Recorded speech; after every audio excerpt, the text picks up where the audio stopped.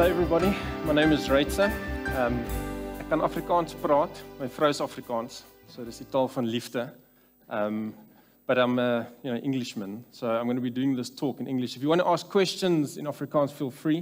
Ek gaan maar daardeur probeer sukkel.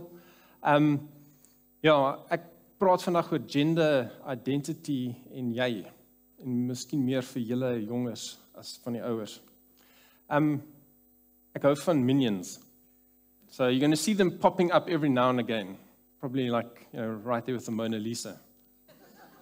so this is my family, um, my wife, Miranda, and Josh and Nathan. That's the posed picture. This is what it really looks like at our table. My wife hasn't seen this photo yet. She doesn't know that I put it out here. I've told my son, he's very interested in that. All right, so I'm a medical doctor. I have specialized in anesthesia, narcosa. It means I put people to sleep for a living. If you find that you're getting dozy or your buddy next to you is sleeping, that's me, just give them a knock. I have done a lot of research and I've specialized in looking at the evidence base behind science. How do we know that what we say is true is true? I've done a master's in health research methodology in Canada. I've done my PhD and I'm currently busy with a master's in philosophy and Christian apologetics the research component of what I do is big. And as I've said, a big component of that is focusing on research evidence and research quality. About a third to half of what I've done is around that. And I'm speaking from that framework today. How do we evaluate the evidence? How do we know that what we know is good or real or right? I'm not a psychiatrist. I'm not a child psychiatrist. I do not treat people with psychiatric diseases, nor have I, nor will I be doing so. I'm not giving you clinical advice. Please make sure that you understand that. It is important that I'm speaking in my own personal capacity, not as a representative of any organization. Um, I speak as a medical expert in my field of medical evidence assessment, not as a psychiatrist. And I am acting out my right to speak in a public sphere um, and to have a discussion, which I think is important.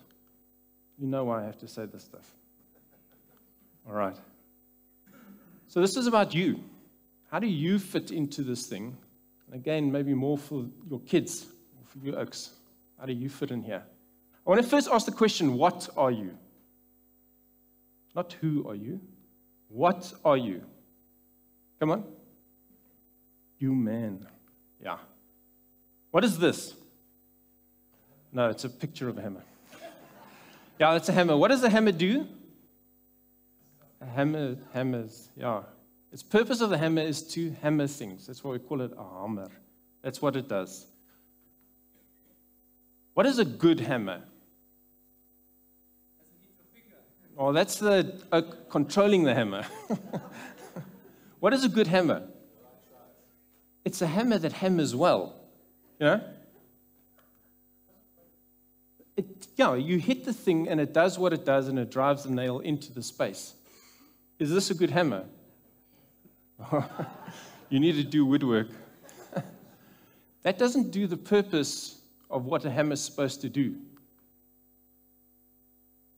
How should you use a hammer? For the purpose for which it was designed to hammer stuff. Generally, a bad idea to try and open a glass of wine or a bottle of wine with a hammer. You can do it. If you look on YouTube, there's pretty cool things. But if you use the hammer wrong, that's not a good use of the hammer. So this is the type of thing we do with my son, who's six. He says, What is it? And what do you use it for? What is it? What do you use it for? Vacuum cleaner, vacuums. Umbrella protects you from the sun. An axe, it chops. By understanding what a thing is, you can understand what the good is. To know what is good for something, you must know what it is. You must understand the nature of the thing. So, what are you? And you guys have all said to me that you're a human being. So, what is this thing that we are? Where do you come from? What is the core of this? This is my pen over here. It's a really important pen for me because when I, I do ICU, a lot of ICU care, so I spent a huge chunk of my life looking after COVID patients. And just as COVID started, I got this pen. Now, doctors lose their pen on a regular basis. But I've kept this pen for me for, with me for two years. And every time I look at it, it reminds me of what we did through COVID, the people that died. It has a lot of value for me. I want to ask where do we get worth from? Where do you get your value from? We often talk about humans having value. Where does that value come from? On the left, my dad. On the right, my son when we adopted him. My dad can't see as well as I can. My son can't run as fast as me. So that makes them less valuable than me. Is that true? No, of course it's not. Because we've got value that's intrinsic, not linked to what you can do, but just from who you are. In fact, I sometimes think that that little dude on the right has got a lot more value than me. God made you before, before I created you in my innermost being. You knit me together in my mother's womb. I praise you because I'm fearfully and wonderfully made. We are created by God. I do a talk on evolution and creation. God created us. The Creator endowed us with value, and you are valuable whether you can walk or not, whether you are bald or not, whether you are small or old. You have intrinsic value. And the value that you get is from God because He is the one that created you. This pen is valueless to you. Maybe you like the color, it's copper. It has huge value to me because it's mine.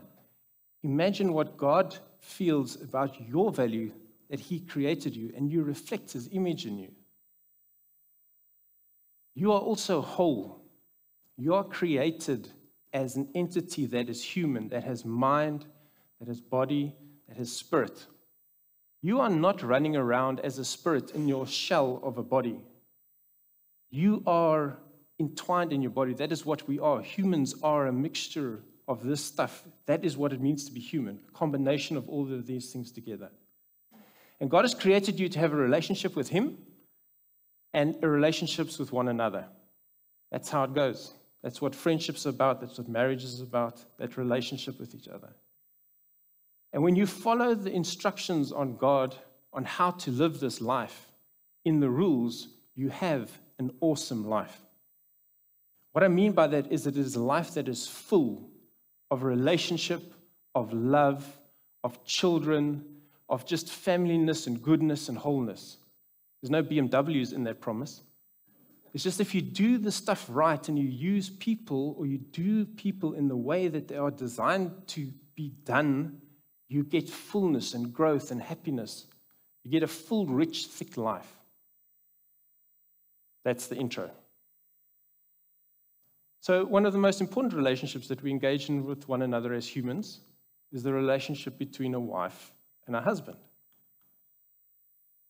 And that is a representation of the relationship between Christ and the church. It's not that we that the church, uh, the church and Christ represent us. We have a marriage because that's how it works. That's how God has the relationship. And linked intimately into that is sex. Like it's, it follows, but it's supposed to be done within that relationship. Sex must occur between a husband and a wife. Sex is good. You must have lots of it. In the relationship of a marriage, it creates pleasure, it brings intimacy, and it leads to children. And let me tell you, if I have one big regret in my life, is that my wife and I didn't have children earlier. Because of the joy and the fullness and the absolute coolness of having kids is just amazing. In our country, sorry, in our world, biological sex is how animals procreate, how humans procreate, how lizards procreate. There are two biological sexes, and it is linked to the reproductive function. The reason that there are two is that you need the one and you need the other. And the one gives an egg, and the other one gives sperm, and they come together, and there's a new life. And it's as simple as that. So, next time you hear somebody at a, a school or a university tell you that there aren't two sexes, the whole foundation of sex is linked to this concept of reproduction. It's so basic that it's never referenced in research articles. It just is a fact of life. And in humans, you have male and female, and XX is a female, and if you carry the Y chromosome, you're a male. And you need one of both to have offspring, to have kids. So, what's the problem? What's going on? Why am I here? Why is there so much anxiety about this issue? What's driving this? And the problem is that we're in a culture that has changed. You've said things have changed, things are different. What's going on? Who are we? How do we fit together? And it's the culture that's busy driving it. So, as we start, I want to say a few things up front. First, words are not violence. So, when I speak something, we used to say, sticks and stones break my bones, but words will never hurt me. Now it seems as though words said are violent. Words are not violent, and disagreement is not hate. This is how we engage with one another, and I can respect you and see the image of God in you, but still disagree with the thoughts that you hold. If you can't do that, you can't engage in a society. The second statement is that gender is anchored in biology, it's not a social construct. And third, a man cannot become a woman. A trans woman remains a biological man. And a woman cannot become a man. A trans man remains a biological woman. I'm going to unpack this a little bit. I'm going to talk about the gender issue and what are the definitions that underpin this. So, women have got feminine characteristics. Think of a stereotypical woman long hair, wearing a dress, high heels. Men have masculine characteristics. Think of a stereotypical man, me. I'm wearing the chinos, South African uniform. You know, I've got the shirt on, I rolled it up, I'm wearing the Garmin watch. I am the stereotypical man. These things are anchored in biology. They orientate out of biology, but they are culturally expressed differently. How many of you girls are wearing a skirt? One or two? Anybody? But we all know that they're girls. And what happens when you go to Scotland and the guys are walking around in a skirt? What's that? It's a kilt. cold. Very cold. So the cultural expression of what is male and what is female differs in different cultures. But it's pretty clear that it is a man or a woman who's dressing in those different cultures. Your gender identity is how you feel about my gender. I feel female, I feel male, I don't feel either. I don't fit into any of those categories. And my gender as expression is how I choose to express it to the rest of the population. So I have dressed in this way to reflect my South African instructions for malehood. If I wore a skirt and a blouse, you would see that I was expressing a female gender. I'm choosing to express a female gender into the community. But the categories in which it happens are always in male or female categories or none. You can't escape the fact that the origin of all of this lies in the biology of it. If you go to university, or if you go to a state school and you do comprehensive sexual education, you are taught that gender is a social construct. Gender is not a social construct. That it comes out of uh, a guy called Money from 1960 who attempted to differentiate between sex and gender. Up until then, in all our medical documents, it says gender, and what we mean by that is biological sex. Gender is anchored in biology. Across all cultures in the world, there is a male and a female because that underpins the biological reality of reproduction. Gender expression differs. And trying to separate gender from sex, from biological sex, is trying to separate the waves from the ocean. You just can't do it. They are deeply interlinked with one another. Do all women fulfill all the categories of feminine? Does it mean if you don't fulfill some of these categories, you're not a woman? Do I fulfill all the categories of manness, of maleness? No, none of us do. And those are generalizations. But does that mean that there are no feminine or, ma- feminine or male characteristics? No, it doesn't. What does a dog look like? Four legs, tail, it's got ears and fur. Here's a dog with three legs. Is it still a dog? Here's a dog without fur. Is it still a dog? There's a dog without a tail. So we can look at something and say we can abstract a concept of this is a male on average, this is a female on average. And that is how it works in our culture. This is how we understand what it is. Now, as you grow up, my own experience is when I went through high school, I'm quite tall. I was just arms and legs and pimples and hair down to here, and it's pretty greasy. I didn't feel cool. I didn't feel suave. I wasn't in the cool group kids. I was a little bit of a nerd, I could run a little bit. I didn't fit in. I felt really uncomfortable in my own skin. What am I? Who am I? How do I fit in here? Because you don't feel comfortable in your skin while particularly going through puberty does not make you gender dysphoric. It's just called puberty. It is a normal part of growing up. Puberty and adolescence is a process in which both your body goes through development, but psychologically you start to understand who am I? So you're living with your parents and you have got their values, but you are going to establish your own values. And so it is a time of confusion. It's understanding where you are comfortable. And we have got these stereotypes of male and female, but there's a huge range on how you wish to express yourself. Women don't have to wear short hair or long hair, or you can change it any color. Just because it's supposed to look like this doesn't mean that, that it must look like that. And there's a wide range of expression. There is freedom in expression. It doesn't change, though, who you are, your core biological identity. Now, in some people, they're not going through a normal adolescence. Your body, and particularly your mind, will respond to what's happening in, you, in your environment.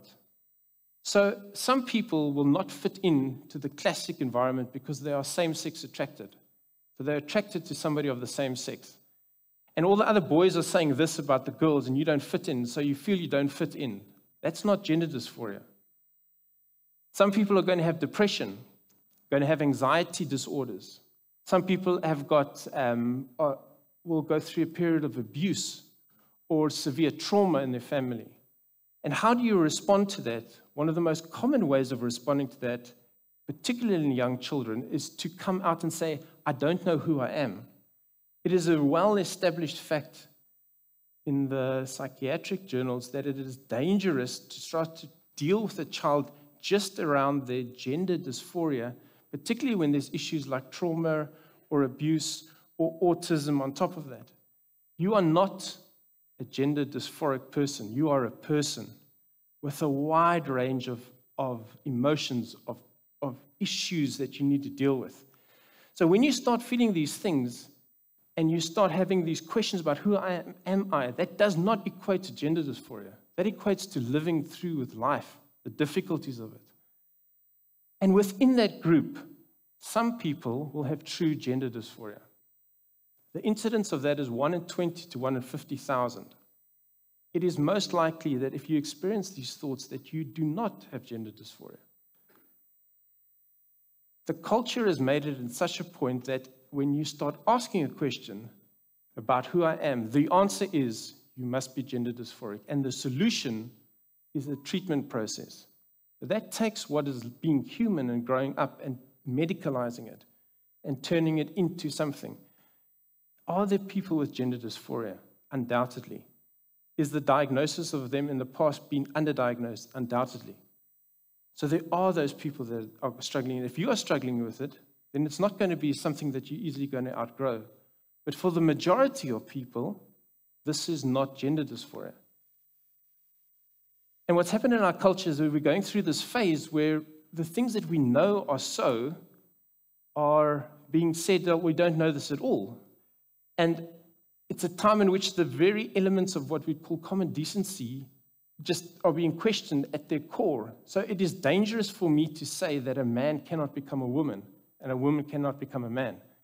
And I must explain to my son that I'm going to go and talk about this issue, who's six years old, who knows that he's a boy, but that there's so much cultural confusion that it's causing this type of pressure on him. I'm going to give a short um, summary of the gender dysphoria issues. I'm going to unpack this in much more detail tomorrow. And if you haven't registered for the conference yet, God's going to be at the desk and you can register there. When we talk about gender dysphoria, you've got to think carefully that there are different categories under it. We tend to lump it all together into one. These things are not all the same. The first category is called intersex. This is a biological condition in which you inherit abnormally the genes, the sex genes from your parents. So if you're XX, you're a girl. If you're XY, you're a boy. But you can have three X chromosomes. It's called trisomy X. You can miss one of the X chromosomes, so you can have an XO. You can have two X chromosomes and one Y chromosome. It's like Down syndrome.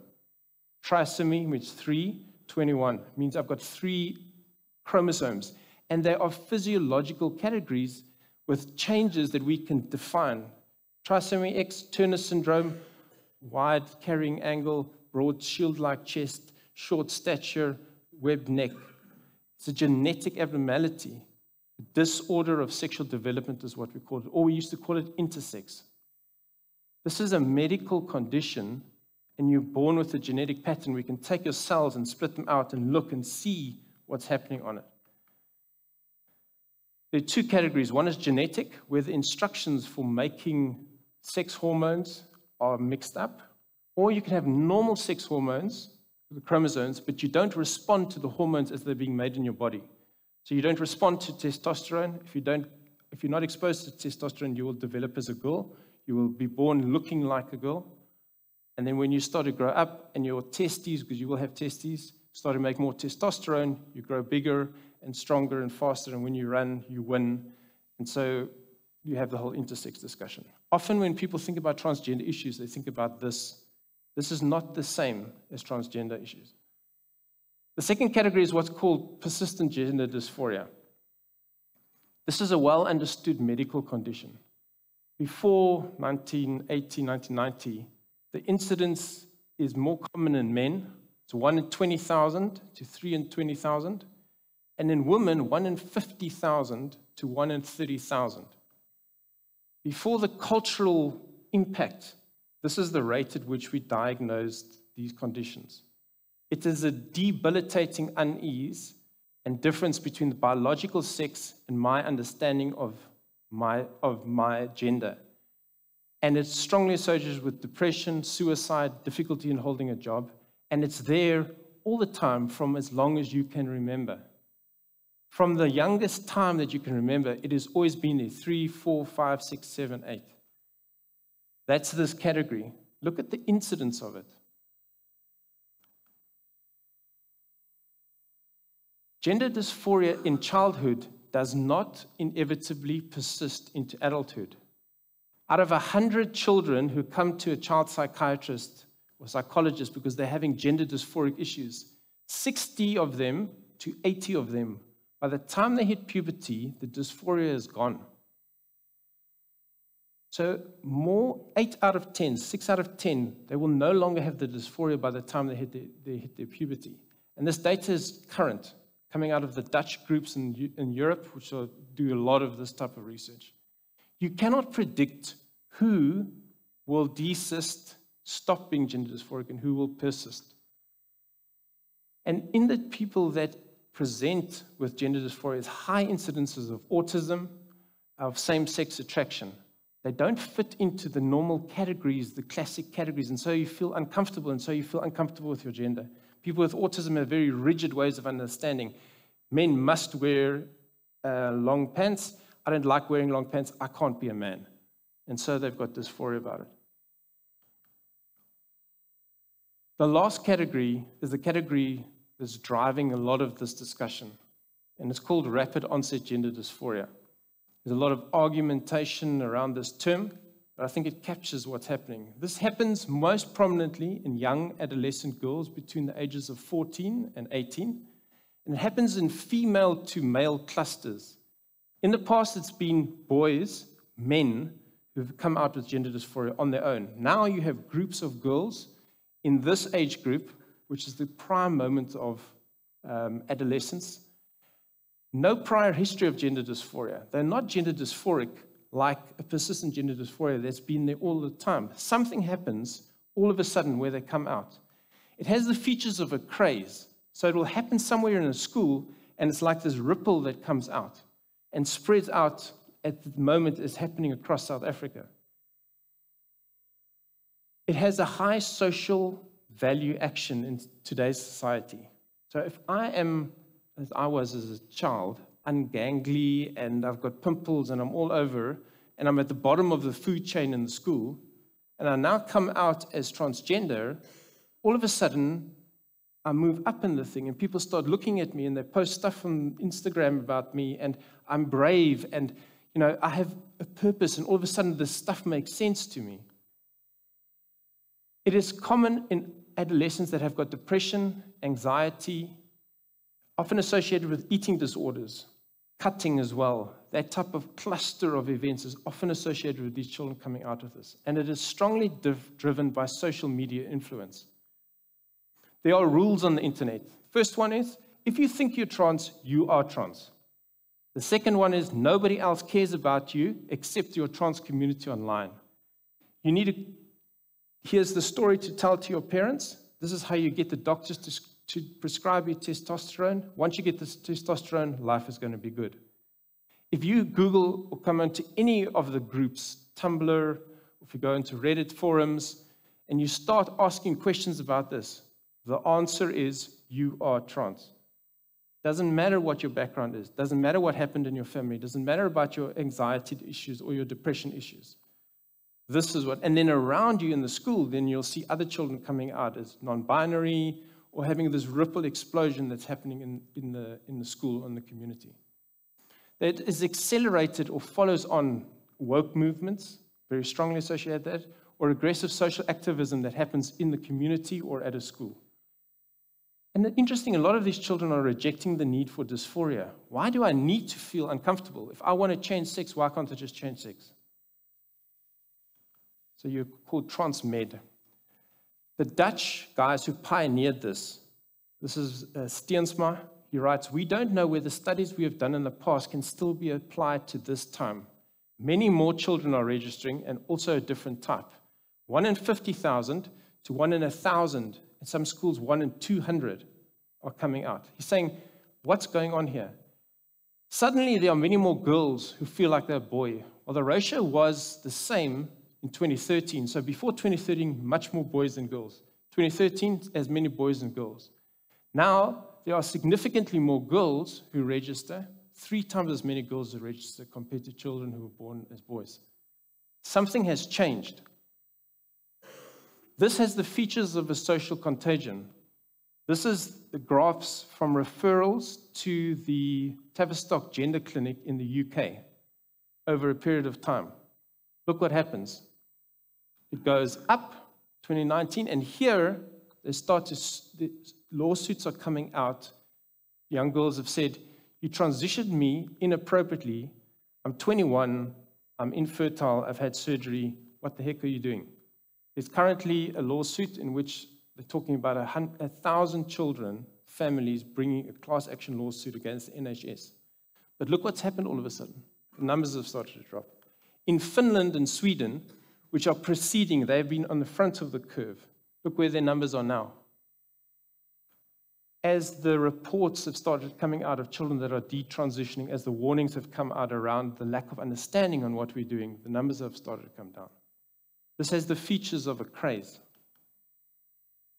Abigail Shrier writes a really difficult book to read. It's called uh, Irreversible Damage The Transgender Craze That Is Seducing Our Daughters.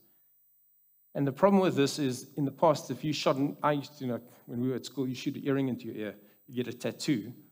Now there's medical intervention that's waiting for you with significant long term consequences. These three are not the same. You must realize this. The categories of intersex is not the same as persistent gender dysphoria, and it is not the same as rapid onset gender dysphoria, or what we're seeing in this young female population. All right. Summary. This is where everybody perks up. There'll be class test at the end of this. Please take notes. You are created by God you are valuable. Doesn't matter what you can do, what you can't do. His image is in you. He loves you. He has created you. Like I value my pen, so God looks at you and holds you in his hand and loves you. You are whole. You are an integrated whole body, mind, soul. You are one thing. You're not in a body that can be malleably changed and manipulated. These three things are not the same. Intersex is not persistent gender dysphoria, and this entity of rapid onset is something different, as recognized by the Dutch, who have pioneered this stuff in gender dysphorics. The research is not the same. And I've done a lot of research in anesthetics. We do about 12 million operations worldwide in anesthesia. There's masses and masses of data around research. There's a lot that I have no idea about, that we don't understand. The data sets out of the Dutch gender clinics are based on between 70 and 30 children per study. The biggest study that I've done around the use of beta blockers in patients has been 10,000, and we're still not 100% sure about the study. The entire group that's driving this stuff is coming out of this group over here, persistent gender dysphorics, in predominantly males, in a totally different demographic than what we're seeing here. And Steensma, who read this stuff, said, We don't know if this data is appropriate. And scientifically, it's not. And to pretend that these are the same is to be disingenuous about what we truly know. You need to have a sense of humility about what we can really know because there are people's lives at the end of it. Being unsure about your gender does not make you gender dysphoric. Being unsure is part of growing up. It's its worst in adolescence. I'm a dad. Sometimes I don't know what the heck's going on with me. Like I struggle, I struggle with depression. I work a lot in the ICUs. Those times I don't know where I'm coming or going. Like I'm broken. That doesn't make me gender dysphoric. There are people that have specific triggers for gender dysphoria or that can look like gender dysphoric. If you're having these events, same sex attracted, depression, anxiety, they need to be dealt with. If you've been abused as a girl, you don't want to be a girl anymore. You want to dress like a boy because then boys don't get harassed. When you're going through puberty and you're starting to develop breasts and everybody's whistling at you and going on, boys don't have that, so I want to hide away. That's why the recommendations is that you don't even talk about doing transition in the, in the um, presence of abuse. So I've said, What are you? I want to ask you, Who are you? And where do you find your value? What makes you important? In my life, what has made my value is that I was a nerd. If you think it's cool, not cool to be a nerd at school, when you go to university and you start hitting the top marks, people go and like, wow.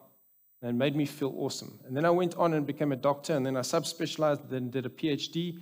And every time I publish a paper, I feel better and better about myself. But I build myself and my value in what I do. And one day, God took all of that away from me and I sat there and I had nothing. In fact, I got everything that I wanted in life, and I got to the point where I tried to commit suicide. I got every single thing that I wanted research stuff, scholarships, beautiful wife in an international country, and I had nothing because I'd built the value around me. I, at that moment, sitting in the pigsty, realized that I've got what I wanted. I got what I wanted. I got all of it about me. And at that moment, at the lowest point of my life, I realized I needed somebody to save me. I needed a savior. I needed Jesus. And Jesus said to him, Come to me, all you are weary and carry heavy burdens, and I will give you rest.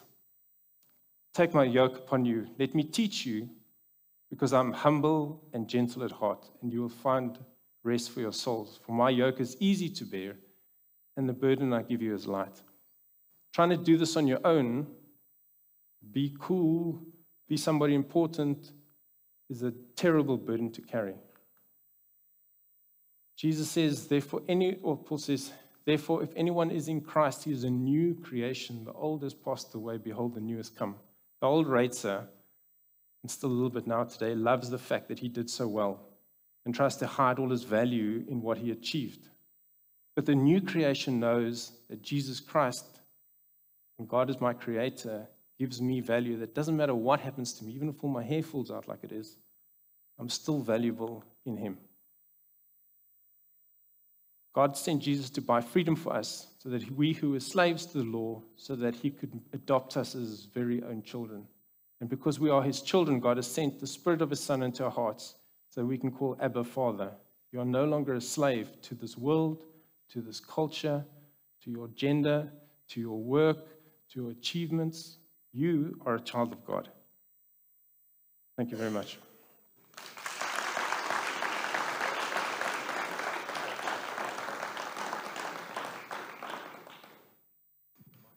Okay, so I've been asked, can I explain the word dysphoria? Dysphoria is the opposite of euphoria. Euphoria is the feeling that you get when you win the lotto, or when that girl looks at you, or that guy looks at you, or it's a sense of extreme joy, fulfillment, happiness, euphoric. This means the opposite of that. So it's a sense of unhappiness, deep unease. It persists everything all the time is this sense of just not lekker. People with gender dysphoria, persistent gender dysphoria, this thing dominates their life. It is hugely harmful for them. They come to psychiatrists, psychologists because their lives are falling apart. They commit suicide because they are never feeling comfortable and happy with themselves. It's a devastating thing that just goes through everything. So, um, so that's, the, that's the definition behind the dysphoria. And this is important that I wanted to say is I do not minimize, and we must be careful not to minimize the damage and the difficulty of carrying the burden of gender dysphoria. People with gender dysphoria are struggling. They deserve our compassion, they deserve our love. I'm talking tomorrow about some of these issues and how do we respond? How should the church respond? And the one thing we should not be responding with is with judgment and with some type of superiority. We come as beggars that found bread in Jesus Christ, and we present that in love to others. So when you speak truth, if it's not perfused with the love of Jesus, you're just wasting your time. So we need to be careful and thoughtful about how we talk about that. Our, our children, you know, they go to school, They're surrounded by friends that could have gender dysphoria or think it's gender dysphoria, but it's not gender dysphoria because of the culture influencing the thought processes because of what you've said. So, um, what is the kind of approach that you should have, and, and the children should have if they realize they have a friend that's in the situation where they not happy with the gender that they have? So, so where should they go? Because I think the children want to know. Who, do, who must they go and talk to? What, what's the process?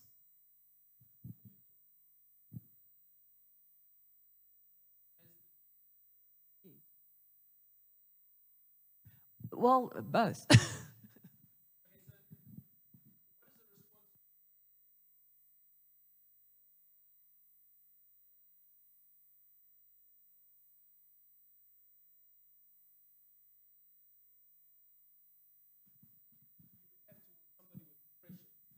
It's the same response that you would have to somebody that's struggling with alcoholism. The issue in this person's life is not their dysphoria, the issue is Jesus. And it's like if somebody says they're gay, the issue is not the fact that they're gay. The issue at its core is do I have a relationship with Jesus? Once you understand who Jesus is and you understand your identity in Jesus, then you start dealing with all the other issues. You don't come to Jesus when you've got all the things ticked off.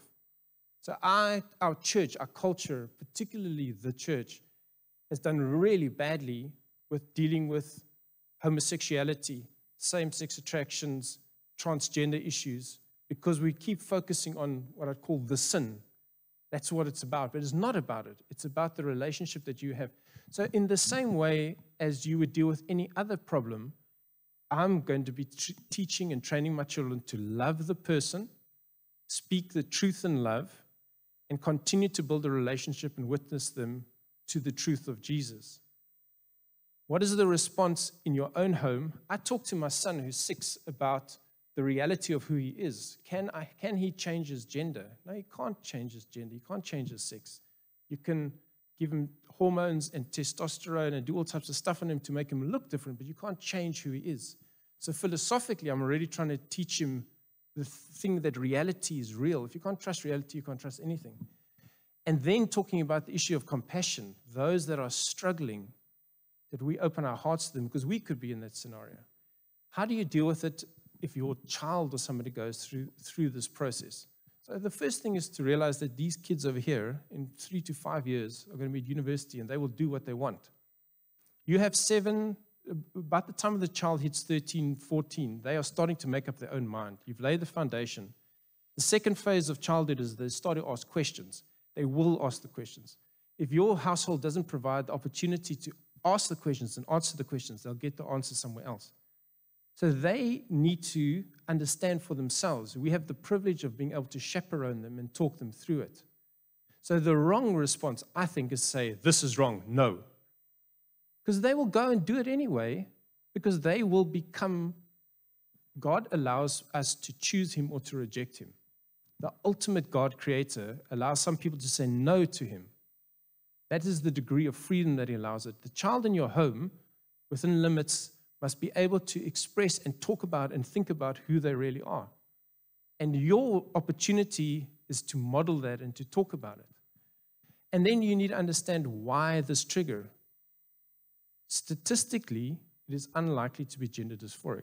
Now, dysphoria. Now, the proponents of this will say, I'm totally wrong and the incidence is really different. But children and teenagers are not just gender, they are peers and there's a life trauma event, somebody died, or somebody's been abused, or I've got severe depression, I've got severe anxiety. Those things will then be expressed, and you as a parent need to explore why is that happening?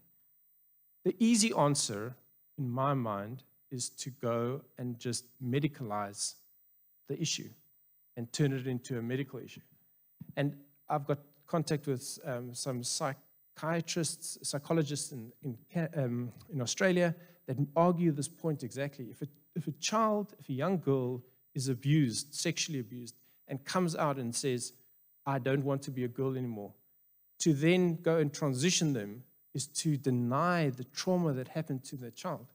In fact, the thing that you should be doing is saying, Whoa, let's talk about this. Unfortunately, a lot of this discussion is framed inappropriately as you either fully affirmative or you're a homophobic, transphobic bigot. And that's just the absolute caricature of both sides. There are many things that we don't understand. And there are, on the other side, people that are really focused on trying to, they believe that they're doing well. We need to develop some type of interaction between that. And there's a role for psychiatrists and psychologists and Christian psychologists, not to try and convert somebody or to apply conversion therapy, but to deal with people as individuals. The Australian and New Zealand psychiatry boards have put out statements saying that psychotherapy and discussion, talk therapy, is a critical component of dealing with children with gender dysphoria. The answer is not medicalization or transition as the first step. It is a long process of interaction. And the, um, the Tavistock group, the Swedish group, the Finnish group that have gone all before this are saying the same type of thing. And medicine does this. We go like, this is the answer, this is the answer, and then we swing to the middle. Unfortunately, this is happening on top of the whole cultural war. And I know a few transgender people that look at this and go, in this mess that's going around it, me as a transgender person, we're getting lost in this. The true meaning of what to be gender dysphoric, to suffer in this thing, is being trivialized by people saying, I can change my gender overnight? What about the people that are really struggling with it? So the concept is in your home, talk about it. Understand that your child needs, you need to create the space. If your child's not asking questions at home, you're not making space for them to question you and your faith and your belief. You're not, you are, you are losing the ability to engage with your child. So bring that into the home. If you've got Christian children, talk about these issues, but present Jesus to the people. And we, as we're starting to see, there's going to be down the line people that are going to say, we need help. We don't, what happened is was a mistake. And we need to come to those people in love and humility and talk to them. So we need to have Jesus' mind. You know, he's hanging out with the prostitutes, the lowest inverted commas of the low, the people that everybody excluded. That is where Jesus goes. That's where our churches need to be. We need to be wise, understand the truth. I'll be talking about this tomorrow. But when you talk to somebody, you speak to them in love. Ek wil graag weet in die Suid-Afrikaanse konteks, kom ons sien nou maar in hierdie omgewing waar ons nou is. As daar jong mense is wat gender dysphoria het, wat ouers gewoonlik sal doen is seker maar om so kind na 'n sielkundige toe te neem. Wat is op die oomblik in in op soos op hierdie tyd Hoe sien die mediese professie dit en wat is die protokolle en die wetenskap wat onderskryf word en wat die regering ondersteun?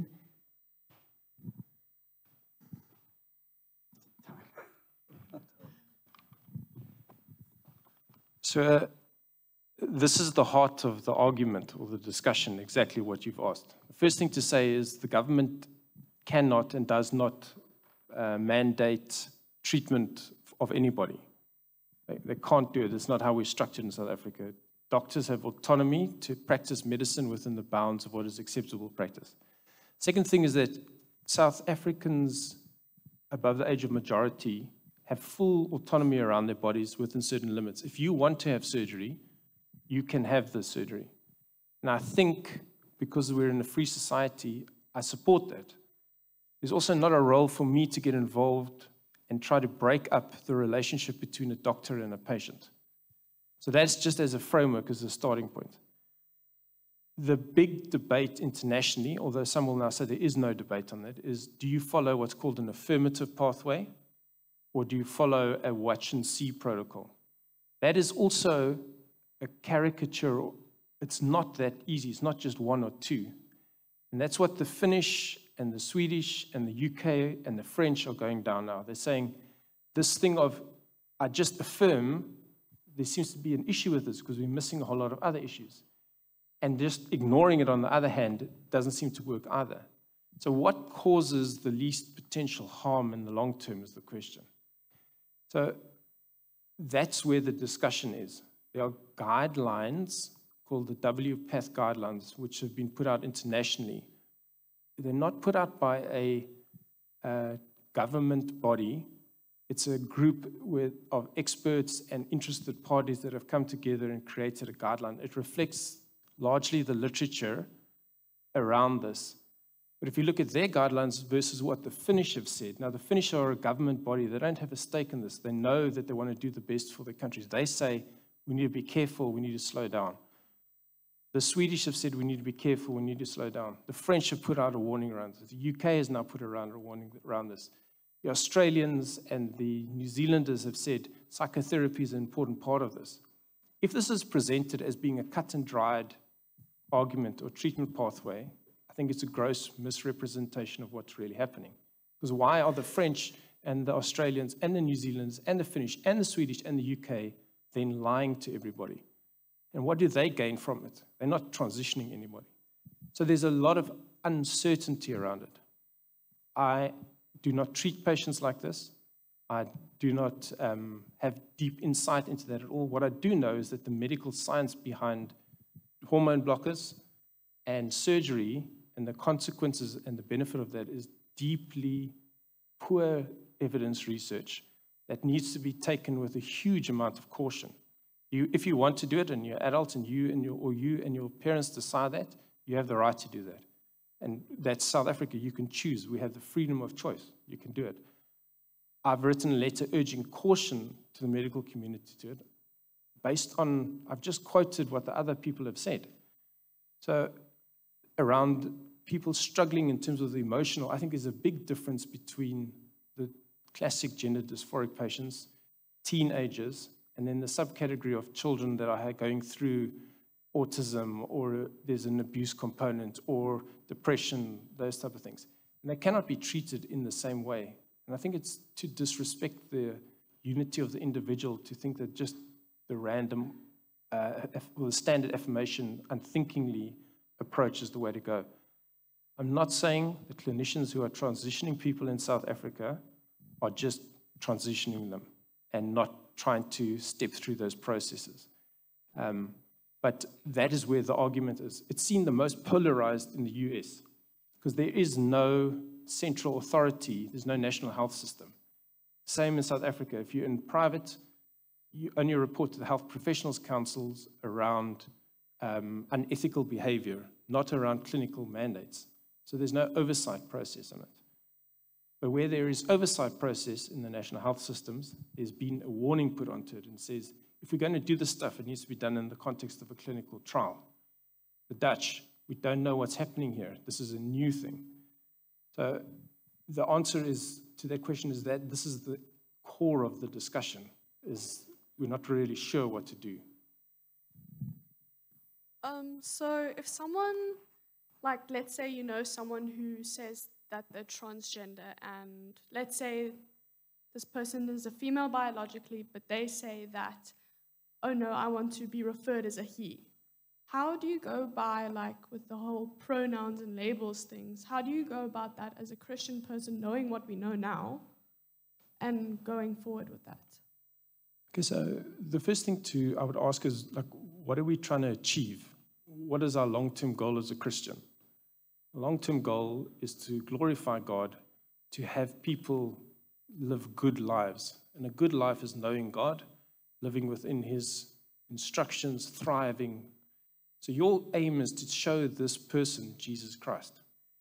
Your aim here is to provide comfort and love to that individual. Because for somebody to have gone through that process, they don't just wake up in the morning and decide they want to have this thing. There's been something that has happened in their life. Even if they are gender dysphoric, they're a human created in the image of God. They deserve to be loved and respected. So, what do I do? First thing to say is when you're talking one on one with a person, you never refer them as he or she. Like if I'm talking to John, I say, Hello, John, how are you? I never talk about them in the he or she person. I call them on their name. Second thing is when I introduce myself as Reitze, you didn't decide that that was a boy or a girl's name. It's just this person is called Reitze. You get people called Andy, can be both girls and boys. So the fact that that person changes their name, my approach has been when I've talked to people like that, I call them on the name that they would want to be called. I refer to them as John or Mary or wherever they are. What are you trying to achieve by telling them, by using a name that they no longer want to call themselves? If they went and legally changed their name to a gender neutral name, you would call them on that name because they changed the name. So some of this stuff is, and then I get asked often, well, aren't you as a Christian supporting a lie in doing this? Well, I've spoken to transgender women who I didn't know was a woman, was a biological man who transitioned to be a girl. I, she looked like a girl. So now, am I going to go and check to see, well, are you a boy or are you a girl? And then I'm going to, no, that's not how we work. So my approach to them is to respect the person. If somebody comes out in your environment, in the church environment, and says they're homosexual, same sex attracted, is the approach to correct them and fix their problem, or is the approach to talk to them about Jesus? If somebody comes out and says, I am an alcoholic, if somebody comes out and says, I've got a porn addiction, you say, well, you need to sort out your problem first. No. The issue for a Christian is the heart. It's talking to them in love and you can only talk in love to somebody that you know and with respect. So you build a relationship and you show them Jesus. Once you've changed the heart, then you start to work out what does that mean. And if you look at Christian literature around transgender people who become Christians, the majority of them stop using transgender hormones.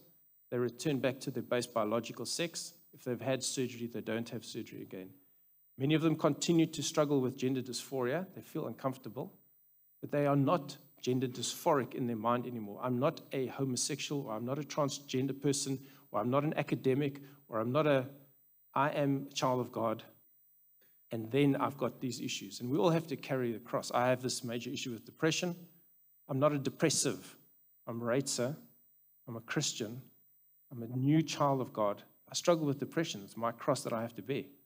Maybe you've got anxiety disorders or eating disorder or just insecurities, and maybe you're super arrogant. That's what you're going to have to deal with. Jesus says, pick up your cross and follow me. And we all have to pick it up. So your aim here is not to try and convince her. Your aim is not to try and, you know, change the, um, like fix this thing. Your aim there is to talk to her out of love.